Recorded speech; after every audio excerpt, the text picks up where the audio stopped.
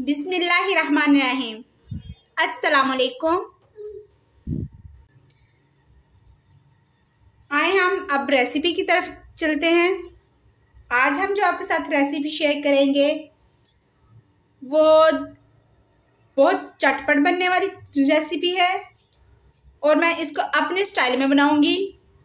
वो है green rice मैं इसकी लेयर्स वगैरह कोई नहीं लगाऊँगी मैं इसको बहुत सिंपल तरीके से बनाऊँगी और खाने में ये बहुत ज़्यादा टेस्टी होगी।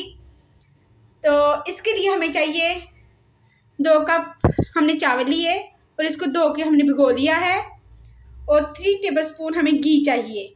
आप इसको आयल में भी बना सकते हैं, लेकिन मेरे ख्याल में ब्राउन चावल हो, बिरयानी हो, पुलाव हो, वो घी में ज़्यादा अच्छे बनते हैं। और ये है आलू, एक कप जिनको मैंने क्यूब्स की शक्ल में काट के तो धो के रखा हुआ है, पानी में डिप है ताकि ये ब्लैक ना हो। उसके बाद ये है एक प्याली मटर। मैंने वन के जी बोन वाला चिकन लिया था और उसके रेशे बना लिए हैं और मैंने हड्डियाँ रिमूव कर दी हैं। हड्डियों वाला गोश्त इसलिए लिया था कि मैंने इसकी यखनी बनानी थी और मैंने वही यखनी चावलों में डालनी है। तो अब ये टमाटर है, दो मीडियम साइज़ के, एक मीडियम साइज़ का प्याज है, और ये देखें, पुदीना, सब्ज़ धनिया, और छः से सात अदद सब्ज़ मिर्च। इनको मैंने मोटा मोटा काट लिया है, क्योंकि मैंने इसे को ग्राइंड करना था। आए हम अब बनाने की तरफ़ चलते हैं, और आप मेरा भरपूर साथ दीजिएगा, मेरे ही किचन में चले आए।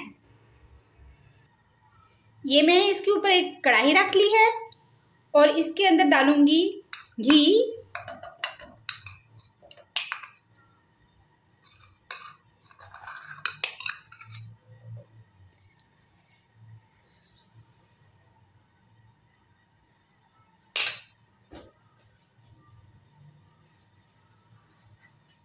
अब हम इसको गर्म कर लेंगे।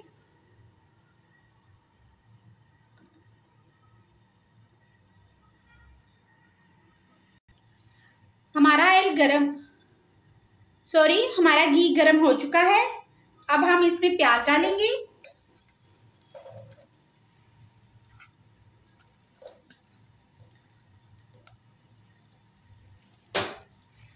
और इसको हम ब्राउन करेंगे। जब तक ये ब्राउन होता है, हम अपने पुदीने, सब्ज़ धनिया और सब्ज़ मिर्च को ग्राइंड कर लेते हैं। जी हाँ हम इसमें डालते हैं। हम इसमें पुदीना डालेंगे। सब्ज़ धनिया पुदीना और सब्ज़ धनिया हमने एक एक प्याली लिया था। आप अपनी पसंद से कम ज़्यादा कर सकते हैं क्योंकि ये ग्रीन राइस है, इसलिए मैं इसमें ग्रीन चीज़ों का ज़्यादा इस्तेमाल कर रही हूँ। आप इसमें से कोई भी चीज़ स्किप कर सकते हैं, जैसा कि चिकन हो गया, आलू हो गए, मटर तो ग्रीन है, इसलिए वो ग्रीन राइस में ज़रूर जाएँगे। तो आप अपनी मर्ज़ी से इसमें चिकन डाल लें, आलू डाल लें, लेकिन मैं इसलिए डाल रही हूँ कि क्योंकि मेरी फैमिली को ये चीज़ें पसंद हैं।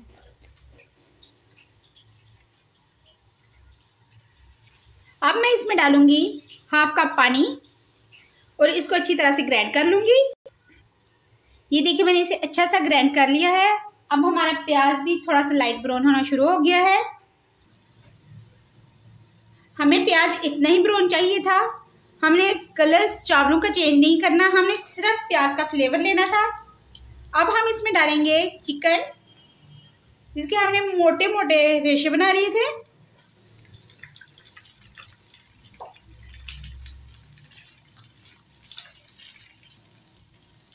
इसके साथ जाएँगे एक कप मटर।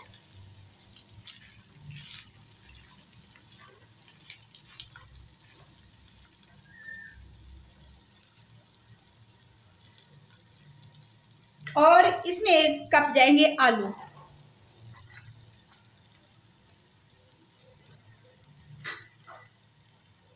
आप अपने हिसाब से इसकी क्वांटिटी को कम या ज़्यादा कर सकते हैं।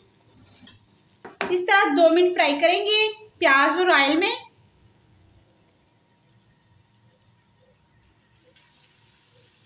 हमें फ्राई करते हुए दो मिनट हो चुके हैं।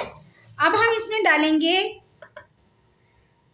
सबस पेस्ट जो हमने सब्ज़ मिर्च, सब्ज़ धनिया और और पुदीना से बनाया था।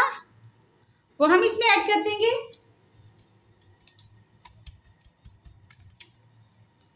और इसको अच्छी तरह मिक्स कर लेंगे।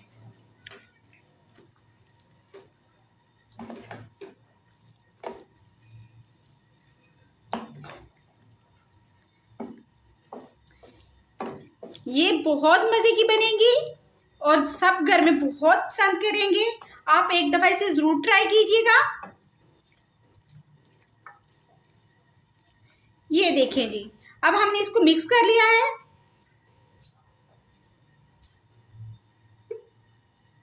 हम इसको ढाम कर पाँच मिनट पकाएँगे ताकि ये अपने पानी में सब्ज़ी अच्छी तरह से गल जाए।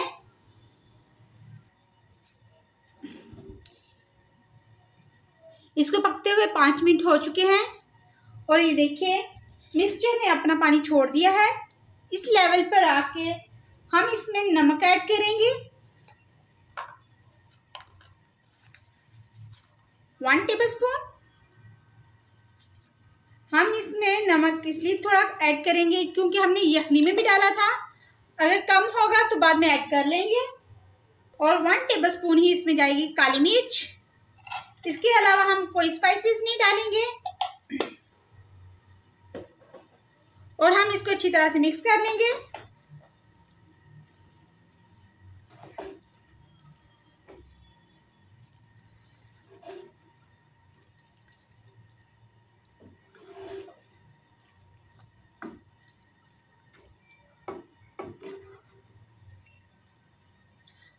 हम इसमें चिकन क्यूब्स वगैरह भी नहीं डालेंगे क्योंकि हम इसको यखनी में तैयार कर रहे हैं। हमारे, इसमें हम यखनी ही डालेंगे, हम चिकन क्यूब्स नहीं डालेंगे। ये देखें इसमें से पानी अच्छी तरह से रिमूव हो चुका है। अब हम इसको दो मिनट भूनेंगे। हमने इसको अच्छी तरह से भून लिया है। अब हम इसमें यखनी डालेंगे, जिसमें हमने चिकन बॉयल किया था।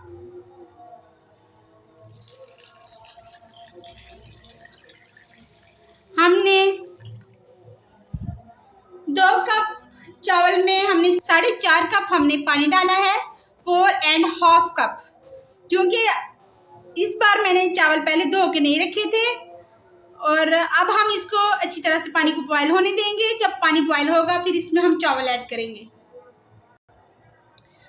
पानी को बॉयल नहीं आया, हम अब इसमें टमाटर डाल रहे हैं। हमने इनको बहुत बरीक काटा हुआ था, ताकि इनका कम्बिनेशन भी अच्छा हो जाए और इसका फ्लेवर भी चावलों के अंदर तक चला जाए। अब हम इसको ढाँप कर इसको बॉयल आने देंगे।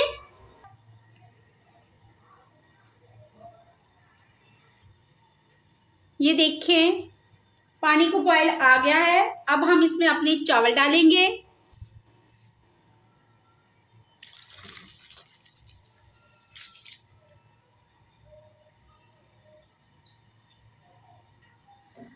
हमने चावल डाल दिए हैं।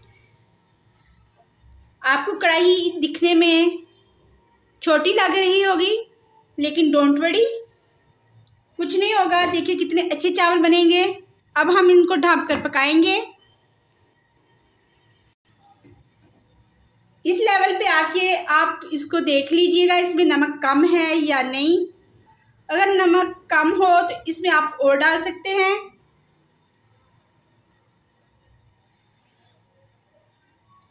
और इसको ढाँप कर पकने के लिए छोड़ देंगे। ये देखें, इसमें पानी खुश्क होने वाला है और थोड़ा सा पानी रह गया है। ये देखिए थोड़ा थोड़ा रह गया है। अब हम इसको ढाँप कर 20 मिनट तक बिल्कुल लो फ्लेम पर दम लगाएँगे। इसका टाइम 20 मिनट होते हैं तो हम आपसे मिलते हैं। चावलों को दम लगे हुए 20 मिनट हो चुके हैं। हम इसको दम खोलेंगे। ये देखिए, काफ़ी प्यारी सी नाइस सी लुक आई है। खाने में, देखने में डिलीशियस लग रहे हैं। आए हम, अब इसको डिश आउट करते हैं। हमने चावल को डिश आउट कर लिया है। देखिए, कितनी खूबसूरत लुक आई है, कितने प्यारे लग रहे हैं।